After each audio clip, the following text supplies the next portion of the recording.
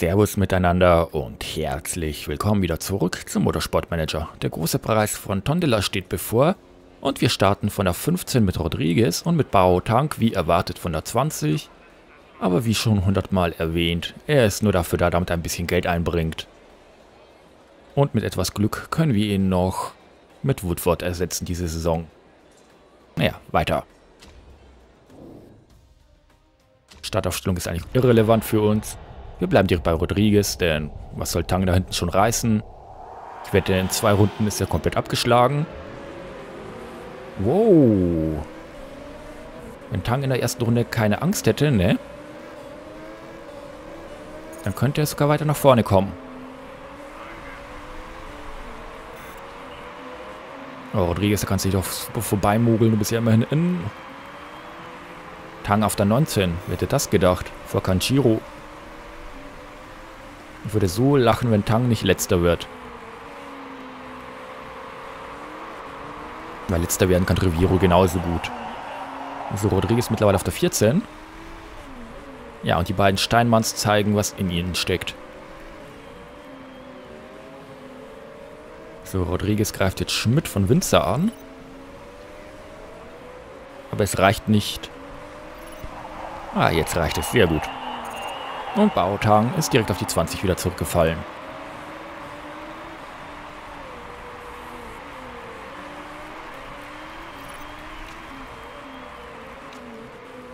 Na komm, reduzieren wir mal unseren Einsatz ein bisschen. Naja, Tank muss einfach nur durchkommen. War schon lustig. Wollte ich sagen, wie er Tyler hinter sich halten kann. Aber ab jetzt wird er verlieren, wo er jetzt in den Schonmodus muss. Er soll einfach nur durchfahren. Er soll durchkommen und das passt schon. Bei Rodriguez haben wir doch ein bisschen größere Pläne.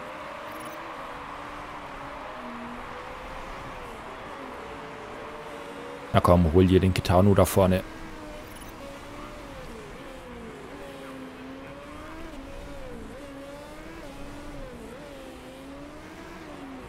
So, alle anderen sind mittlerweile im Schonmodus. Schmidt und Fox schonen ihre Reifen. Da können wir durchaus auf neutral runtergehen. Na, jetzt schont nur noch Fox. Denn unsere Strategie ist halt wie immer, so lange wie möglich draußen bleiben. Das Auto von Tang sieht noch relativ in Schuss aus. Das von Rodriguez ebenfalls, aber es sind gerade mal fünf Runden gefahren.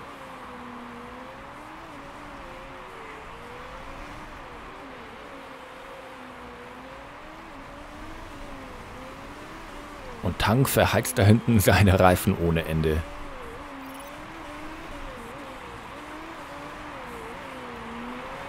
Die Reifen von El Sadat werden es nicht mehr lange mitmachen. Naja, vielleicht lasse ich einen Tank auch auf der Felge durchfahren. Wer weiß das schon. Guckt euch das mal an. Der schon schon viel länger und seine Reifen sind viel schlechter. Ja, da merkt man wirklich, dass ein guter Fahrer wirklich dringend benötigt wird. Aber Tank ist momentan für den Übergang da. Das passt schon. So, bald wird Tang überrundet. Moment, die Frage ist, wenn ich Tang jetzt komplett auf Schonen lasse, also auf alles schonen, könnte er dann mit dieser Konfiguration durchfahren? Hm. Interessante Vorstellung. Zumindest ist Rodriguez der schnellste unter den Hartreifen-Nutzern. Der ist doch auch schon mal was wert.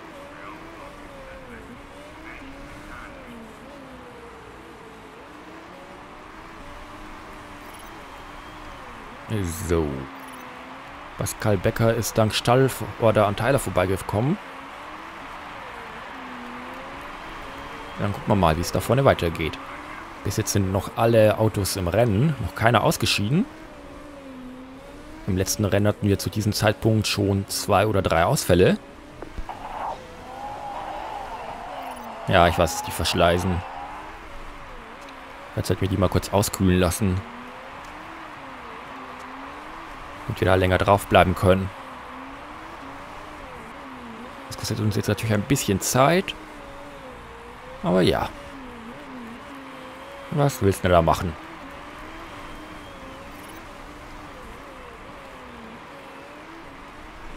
Ich hoffe mal, dass wir zumindest Achter werden. Das wäre schön. Also ich glaube, eine gute Temperatur ist erreicht. Dadurch dürften die nicht mehr so schnell verbrennen. Hört euch das mal an. 59% auf den harten Reifen. Echt phänomenal. Tang.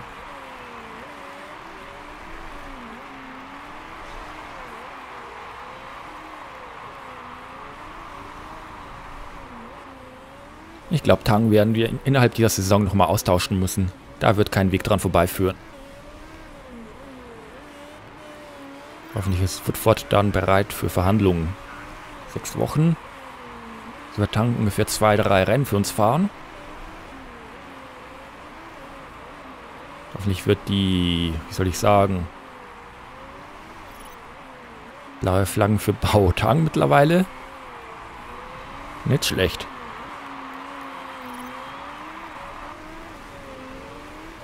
Da merkt man es halt wieder. Das Auto ist nicht alles. Wobei, gut ist unser Auto ja auch nicht. Und Bautang ist halt mit der mieseste Fahrer im ganzen Feld. So, Edda hat sich mal neue Reifen geholt. Hat es aber noch geschafft, vor uns auf die Strecke zu kommen. Ich dachte, wir wären auf der Start-Zielgerade. Naja. So als sie in der Box war, aber naja, so dem war halt nicht so. Und wenn ich nochmal naja sage, dann hau ich mich selbst.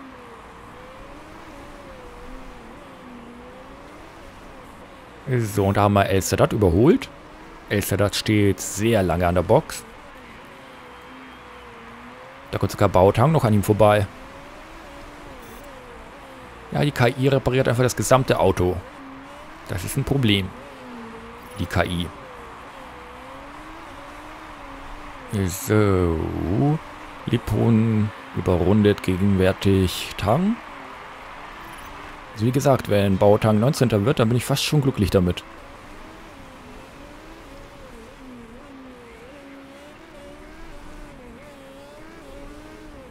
Dass sich Elsedat nochmal weiche Reifen geholt hat, das verstehe ich auch nicht. So, Rodriguez auf die 12 vorgerutscht. Flores sitzt an der Box. Steht aber nicht halb so lang, wie man es gerne hätte. Vidal steht nicht so lang. Aber das ist Rodriguez in nach Angriffsreichweite. Das Problem ist, Rodriguez wird ja auch bald an die Box müssen.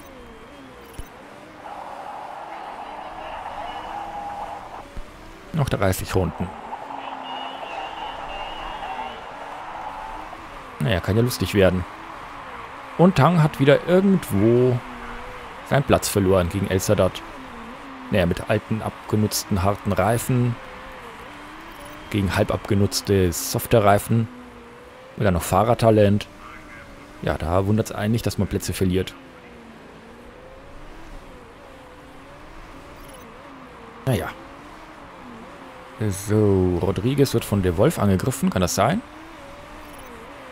Blöd, dass vor uns fast alle schon an der Box waren. Und Modi, Fox und Bergmann werden deutlich länger auf ihren mittleren Reifen draußen bleiben können, als wir auf unseren harten. Ich glaube, Vidal war gerade an der Box, oder? Und hat sich auch nochmal seine abgelutschten geholt aus dem Qualifying.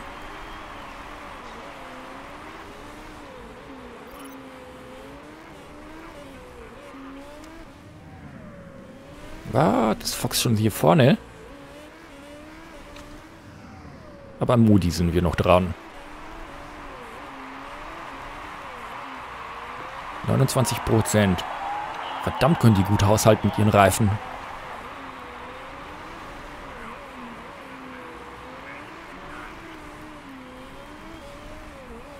Klar, ein, zwei Verbremser und das Rennen ist erledigt. Naja, holen wir mal Tang rein und sorgen dafür, dass das Rennen durchfahren kann. Mit etwas Pech kann er nicht einmal durchfahren. Ja, Grulle Muck. Ja, dafür sieht sein Auto noch relativ gut aus. Na dann, mach mal.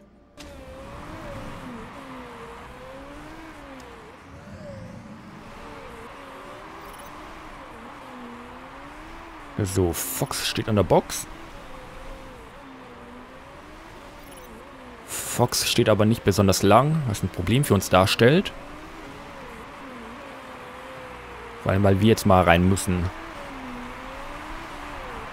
Die Hälfte des Rennens ist absolviert. Ja, wir werden auch sehr lange stehen müssen.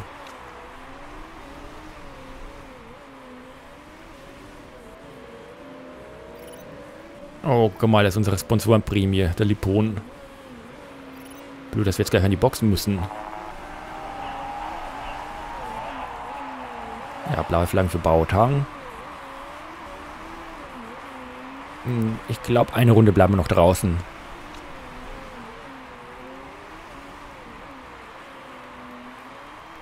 Und dann gehen wir jetzt rein. Dann holen wir uns noch einmal harte, dann können wir eventuell durchfahren. Wir haben die Reifen hat wirklich nicht sehr lange gehalten.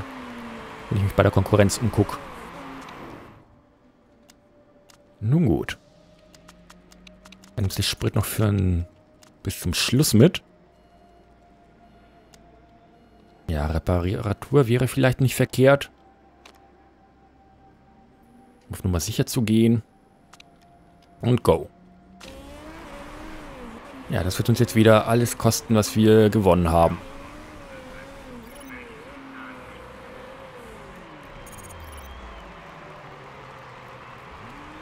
Oh, eine großartige Reparatur.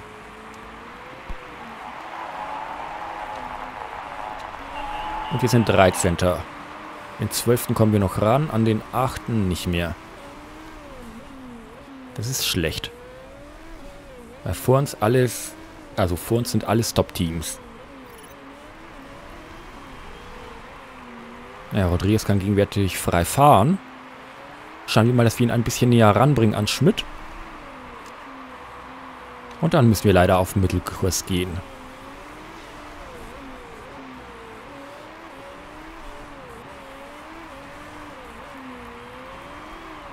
So langsam trennt sich die Spreu vom Weizen. Und dummerweise sind wir die Spreu. Ja gut, wenn Schmidt noch einmal stoppen muss, dann könnten wir an dem vorbeikommen.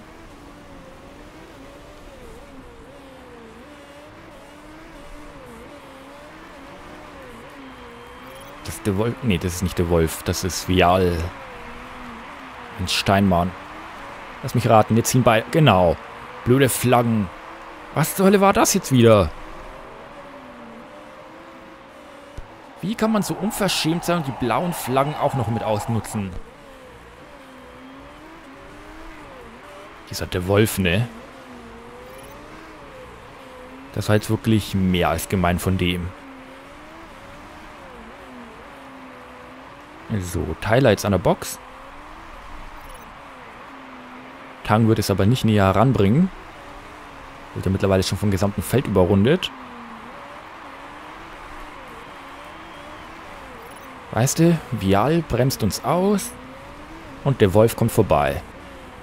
Also wenn das nicht mal irgendwie eine Schiebung war, dann weiß ich auch nicht. Das regt mich schon irgendwie auf. Vor allem, weil wir jetzt nicht mal in Angriffsreichweite sind. Wenn sich Vial der Wolf holt.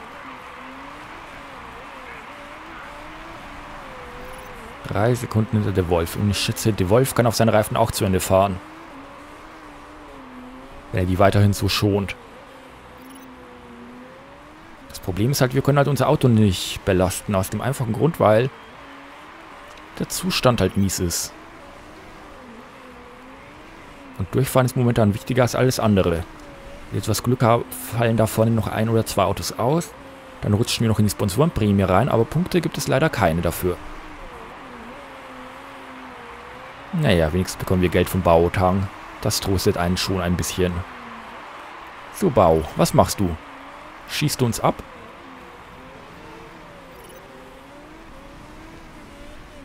Nun ja.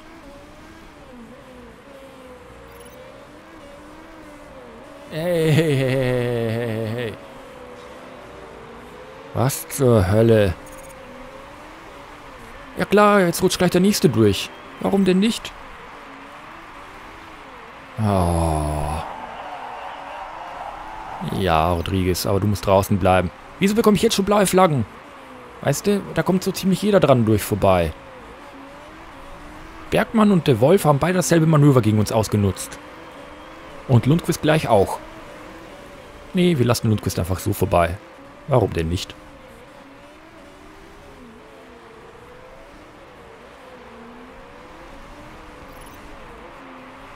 Hauptsache Bautang hat Spaß.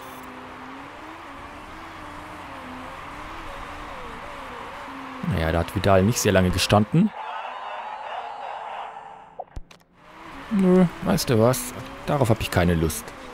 Wozu solltest du reparieren, ne? Halt einfach mal das gesamte Feld auf und gut ist.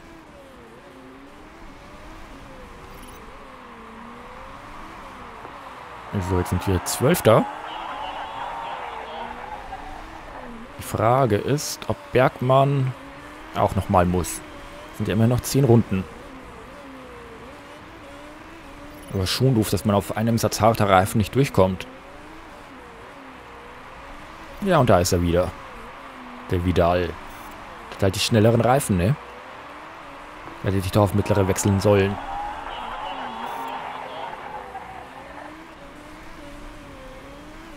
Oder auf unseren weichen.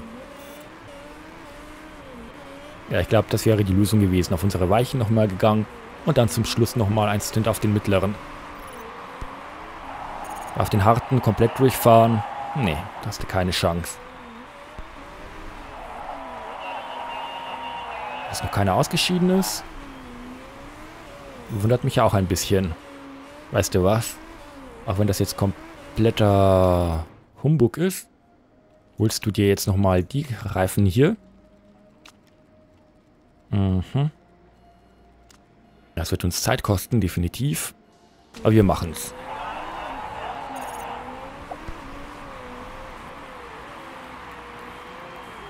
Wir hätten zwar auf den harten durchfahren können, aber irgendwo ist es mir dann doch lieber, dass wir nochmal so richtig angreifen können. Wir hätten nach und nach E-Plätze verloren. Ich weiß, dass du reichlich Benzin hast, aber du hast keinen Frontspoiler mehr. Ach, weißt du was. Hol dir nur einen Frontspoiler, hol dir ein neues Auto. Was soll da noch schief gehen, ne? Oh, da ist jemand ausgeschieden. Er ist ausgeschieden. Auf jeden Fall einer hinter uns.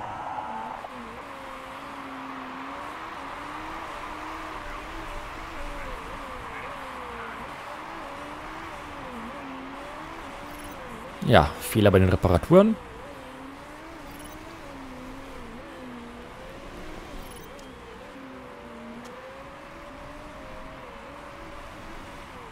So, Rodriguez.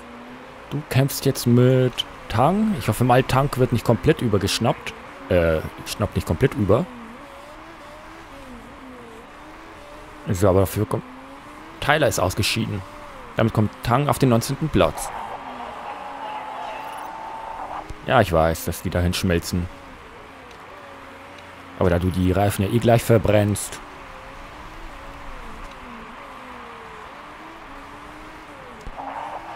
Na komm, greifen wir nochmal hier richtig an. Vielleicht spült es uns ja noch minimalst nach vorne.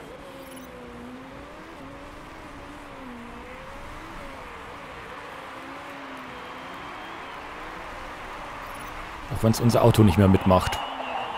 So, Rodriguez jetzt auf der 14. Reifen auf 20 Prozent.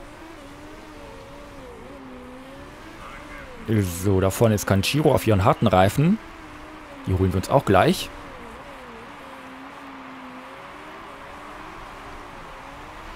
Aber dann der Wolf und Vidal werden wir nicht mehr rankommen. An Bergmann auch nicht. Es sei denn, die müssen alle nochmal stoppen.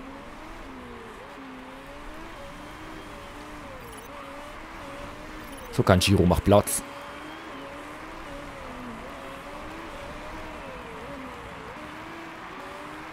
So, wunderbar.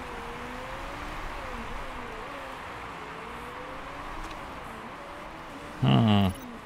Der Heckspoiler wird bald abfliegen. So, jetzt bräuchten wir irgendwie ein Wunder, dass vor uns noch zwei oder drei an die Box müssen. Also die in Angriffsreichweite sind oder ausscheiden. Ja, das Rennen ist vorbei. Ja, Tang, das war wirklich übel. Du wirst diese Saison nochmal ersetzt, keine Sorge. Du bist nur eine Zwischenlösung. Um unsere anderweitigen Probleme ein bisschen in den Griff zu bekommen. Genau, das ist nicht übel. Gute Arbeit. Herzlichen Glückwunsch, Larsen. Doppelsieg von Steinmann. Ja, wie schon gesagt. Jetzt äh, trennt sich die Spreu vom Weizen. Und Scuderia wird nicht mitfahren können oben, weil die Edda halt nicht ganz so gut ist. Vielleicht haben wir ja Glück und ein paar Leute haben gepanschte Teile dabei. Nö, keine gepanschten Teile. Bautang hat nur zwei Runden verloren. Nö, vier. Vier Runden hat er verloren. Ja, in diesen Rennen war deutlich mehr drin. Aha. Aber momentan sind wir noch voll im Soll. Klassenerhalt sollte sicher sein. Weiter.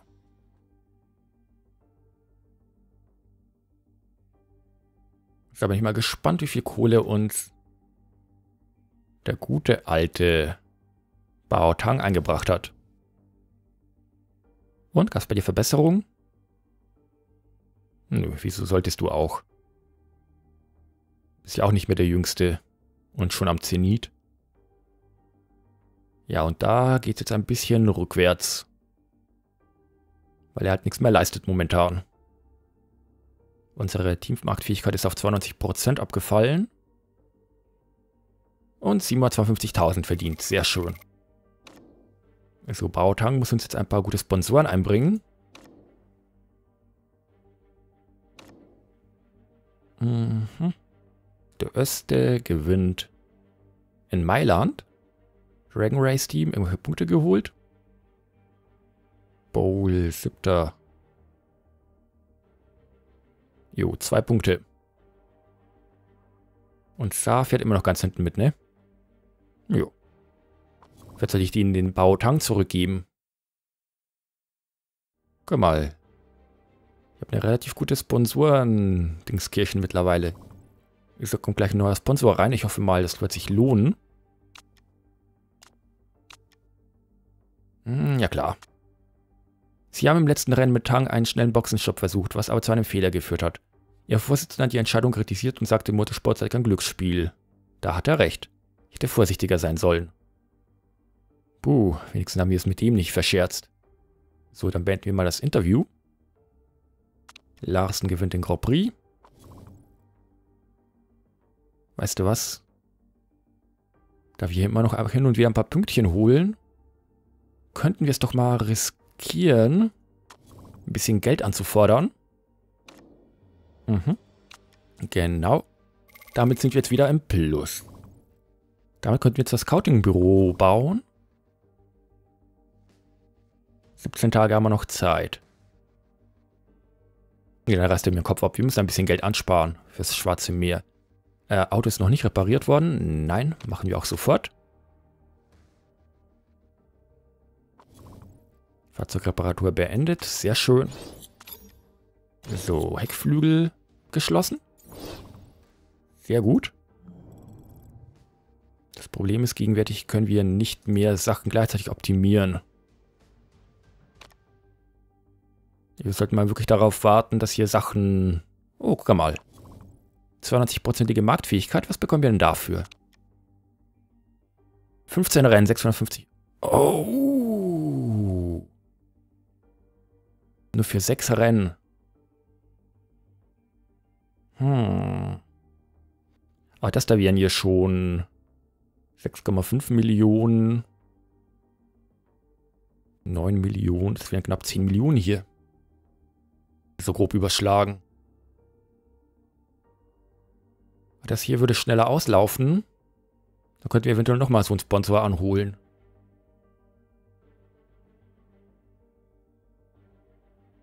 Damit könnten wir halt kurzfristig wirklich sehr viel arbeiten. Weißt du, wir nehmen diese feste Zahlung hier an. Pro Rennen. Da können wir halt wirklich mal arbeiten. Wenn damit können wir sechs Rennen lang arbeiten und dann ist gut. So, nächstes Rennen läufst du aus, dann du und dann du. Genau, das ist jetzt soweit abgeschlossen. So, dann müssen wir halt in die Zukunft gucken und unser Scouting-Büro erweitern für 5 Millionen. Das Geld bekommen wir jederzeit wieder rein. Das ist nicht das Problem. 4 Millionen Schulden, da wird sich Darren Duft gleich wieder aufregen. So, ich glaube, diese Saison können wir quasi abhaken. Mhm. So, was hast du jetzt mittlerweile für eine Kündigungsfrist? 424.000. Sollten wir uns dann auch noch leisten können. Äh, Woodford. Äh, Favoriten. Naja, du bist noch beleidigt vier Wochen lang. Dann holen wir uns dich. Genau. Mit einem Einjahresvertrag. Weil so schlecht war er ja auch nicht. Oder wir geben ihm einen Zweijahresvertrag. Wir werden sehen.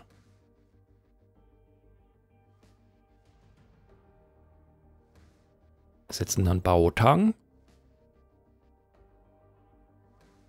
So, meine Freunde, aber ich würde mal sagen, das war's jetzt von dieser Folge. Ich bedanke mich mal fürs Zugucken, wünsche noch einen schönen Tag und bis zum nächsten Mal. Tschüss.